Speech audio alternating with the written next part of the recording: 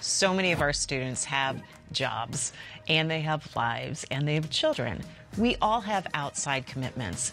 Part of the great thing about being online is that you do have that flexibility. Does that mean that you have the time? I always advise that you do a gut check to make sure that you have the support around you to make sure that you are fully able to commit. Can you do this program while working full time? Absolutely. But you need to make sure that you carve out the appropriate amount of time so that you can do your best.